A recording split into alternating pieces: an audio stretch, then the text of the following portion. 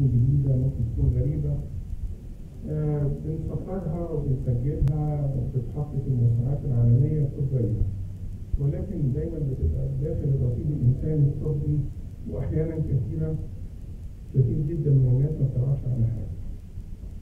وبالتالي كان لما الحدث ده تم في 2016 آه، في شهر ديسمبر 2016 كان امرأة مصرية بتعاني من تأخر الإنجاب وبتعاني من تضخم جدا في بطنها وأثناء المتابعة وجدنا إن كتير جدا من الأورام اللي كانت موجودة داخل رحمها.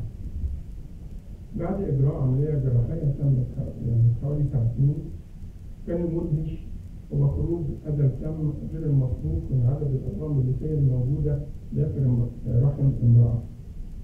وجدنا حوالي 186 أو هم 186 ورم ليفي كان خبر غريب جدا أو مدهش بالنسبة لنا آه، عملناه بالدوريات العالمية وبعد كده بدأنا نبحث إزاي نقدر نلقي الضوء على الحدث ده ونستغل استغلال أمثل ل آه، يعني رفع الوعي شوية داخل المصريين.